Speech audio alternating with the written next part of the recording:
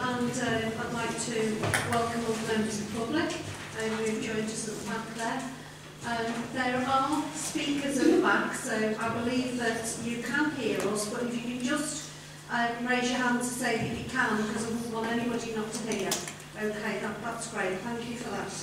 Um, so the purpose of the meeting is to scrutinise the urgent care consultation process. Um, and the general format this evening, uh, we've got quite a number of presenters. Um, we've got Wirral Health and Care Commissioning, um, who will do the presentation to members.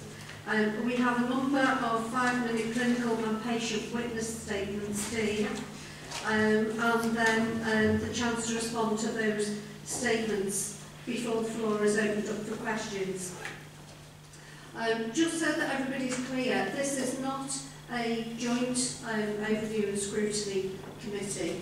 What it is, is an adult overview scrutiny committee, but we have invited in the children's committee uh, because there is obviously an overlap. Now, children's um, committee members, you will be able to ask questions. Um, and the table there for you.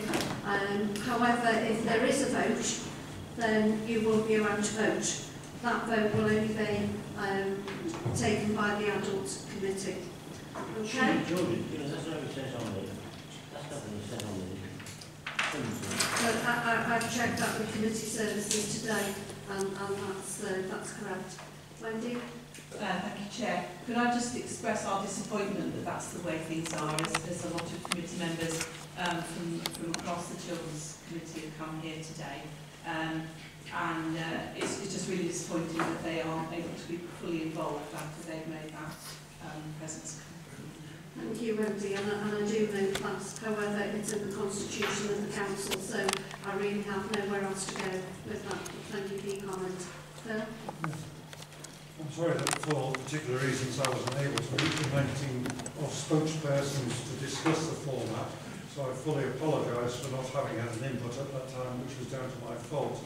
Unfortunately, it has not worked out quite the way some members would have expected. I wonder how we might involve members of children's services in for preparing any uh, report that comes from this committee once they've heard the proceedings. Well, we have the um, committee chair here, um, and perhaps Tom, you'd like to speak on that, please. I don't know if you're sitting at the table. Uh, yeah, Chair, um, I'm happy for the report to come to uh, Children and Families Committee and we can have uh, recommendations and comments um, on the report. Um, it's, it's unfortunate that you know, this is in the Constitution, we can't have a joint meeting, but ultimately the Constitution is an RTF, and if we feel we need to change it, we can. Okay, thank you. Lesley, and then we'll need to move on to the meeting. Thank you, Chair. I mean, clearly, that, that, that knowledge was never imparted to the leader or the deputy leader of, of my, which I am, of, of my political group. And it clearly says on the front of it, it's a joint meeting, so I think any reasonable person would, would be able to assume that they were here as a full and voting member. So um, if it's in the Constitution, it really wasn't explained. And, you know, we don't all sit with the Constitution under our, we don't all sleep with the Constitution under our pillows at night. But it clearly says on the very front page, it's a joint meeting with members. So in the future, if that's how it's, um, you know, if we have any more reasons um, similar to this, then clearly it has to be made simple and it has to be put down in sensible language that it's not billed as a joint meeting because clearly there's a number of members here tonight obviously interested in the issues but uh, clearly we're here under the assumption of uh, having full voting rights so if we could perhaps look at that for the future so there's no um, discrepancy with why members have or haven't been invited here.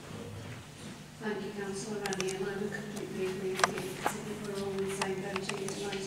What I will do is ask our Borough Solicitor just to, uh, just to give us a brief on that, please. Yes, there are certain legal provisions under which councils can arrange joint committees. For example, we can have a joint committee with, with other local authorities, but in our constitution, the, the overview and scrutiny committees are separate committees, and so rather than being a joint uh, committee, this is really coming together of the two committees to discuss a matter of common interest, and the adult committee has um, invited the children's committee to attend Um, and so unfortunately that does mean that the Children's Committee members are unable to vote, but they can ask questions and take part in. Okay, thank you for that. Um, so we'll actually start with the presentations and um, Paula Cowan, um, I know you've only just hot-footed it in here, but if you can start with yourself, please. Thank you very much for your, for your tolerance and my Oh, Into the microphone, please. Sorry, it's not usually something people complain about not being able to hear me. My Down headphones here, down here. are- Can you hear me now? Okay. So, sorry, Paula, before you do, um, just a couple of things. I've just been reminded I didn't ask declarations of interest. Um, so I do need that and I need to, um, there's no apologies as far as I'm aware. Um, and for declarations of interest, um, particularly um, for those um, presenting um, those witness uh, statements, then I think we need to be clear if there are any declarations of interest. Um, could I just ask as well the um, the people in the um, in the audience, uh, members of the public. If you can't hear, um, obviously we are going to try our best. We've all got microphones. Um, but I would ask that rather than shout out, which can be um, off-putting to, to other people, um, if you can just raise your hand if you, if you can't hear me, that would be, or if you can't hear members, then that would be really helpful and we can try and do something about that. Okay, thank you. Paula? And, and I did say, didn't I, is there any declarations of interest? Sorry, Christina? Um, some of the daughter for the NHS, another daughter's a GP. Thank you. Sharon? I work for the NHS. Joe? Daughters work for the NHS. Tony? Uh, daughter works for the NHS. I'm the governor of CWP nominated by Wirral Council.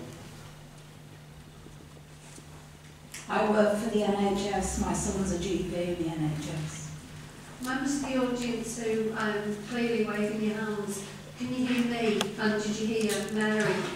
Last, okay. So I think the problem is then, um, there are speakers at the back.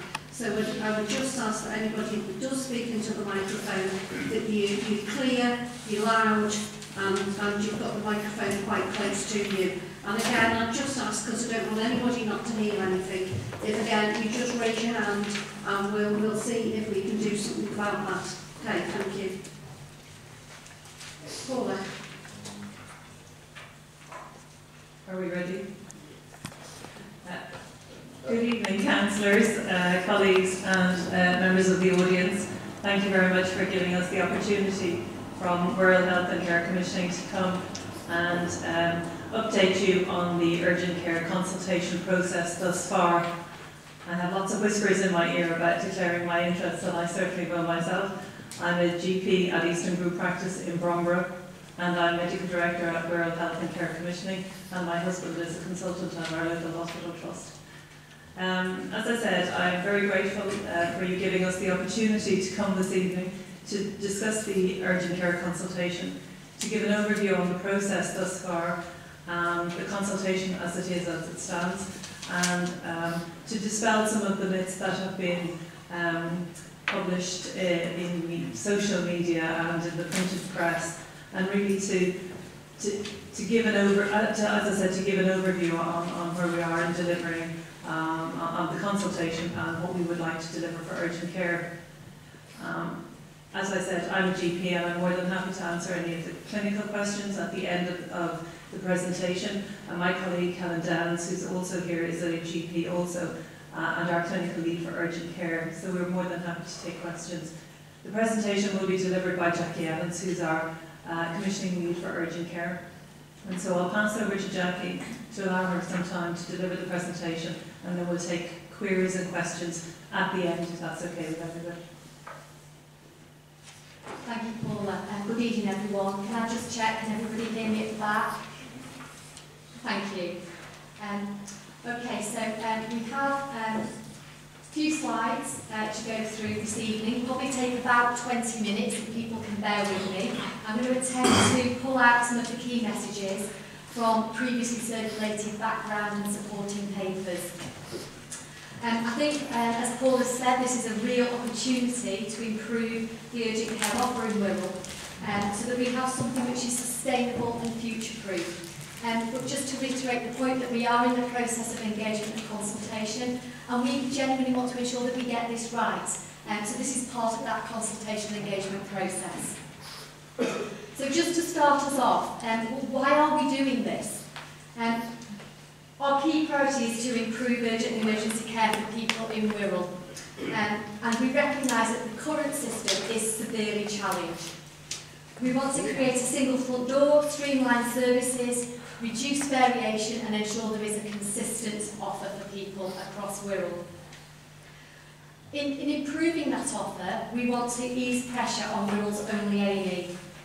So we want to make sure that A&E is freed up for those most in need of emergency care or life-threatening situations. And from the, some of the future slides and the information we've already shared demonstrate the significant numbers of people still turning up to A&E um, because either they're not sure where to go um, or they can't get a GP appointment or whatever it is at the time they believe they need it. Um, and we, we have immense pressure being felt by our A&E department. We also want to reduce the impact on ambulance turnaround times and I'm going to come on to some of those challenges in a moment. As part of this, we have to create a better patient experience, making sure we are maximising our resources, making good use of taxpayers' money in the Wirral Pound, and making sure that people are seen at the right time, the right place, by the right people. Um, and in doing that, addressing the variation that we have currently across Wirral, and supporting that neighbourhood model of bringing care closer to home. And part of our offer, as we describe it shortly, is about how we make best use and align with the national requirement uh, for people to be able to access uh, primary care, that's GP and nurses, 8 to 8, 7 days a week, and how that improved 111 offer, that is part of the national requirement to improve, as well helps form part of our urgent care offer.